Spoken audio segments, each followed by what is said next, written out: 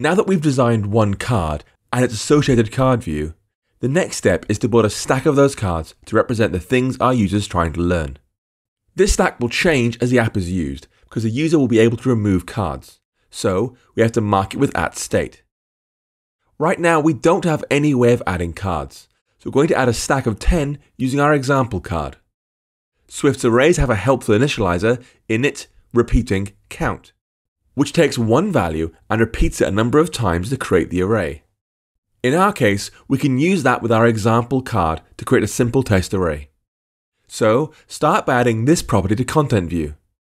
At state, private var, cards equals an array of card, repeating card.example, count 10. Our main content view is going to contain a number of overlapping elements inside stacks. But for now, we're just going to put in a rough skeleton. First, our stack of cards will be placed inside a Z stack, so we can make them partially overlap with a neat 3D effect.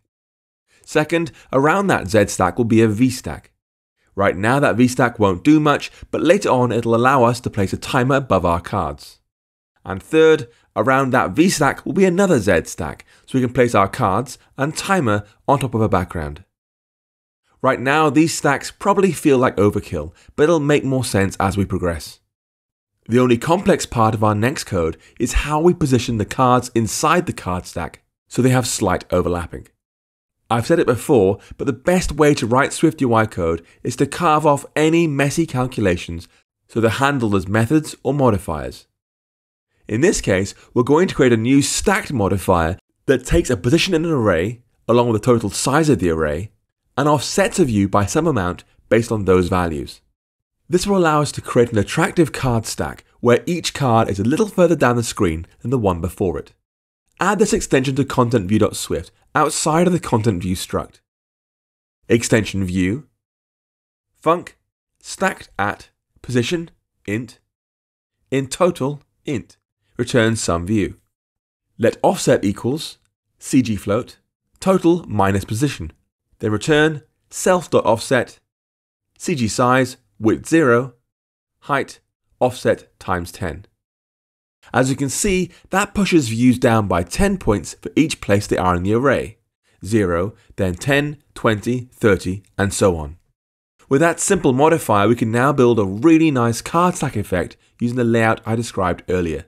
So replace your current body property and content view with this. Z stack, then a V stack, then another Z stack.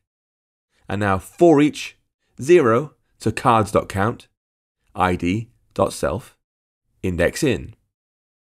Then we'll make a card view with a card being self.cards index, and use our new stacked modifier at that index in self.cards.count.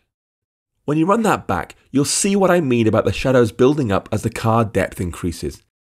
Now it looks quite stark against a white background, but if we had a background picture, you'll see it looks better. In the GitHub files for this project, you'll see background at 2x.jpg and background at 3x.jpg. Please drag those both into your asset catalog so we can use them. Now add this image view into content view just inside the initial Z stack. Image, background, dot resizable, dot scale to fill, edges ignoring safe area all. Adding a background image is only a small change, but I think it really makes the whole app look better.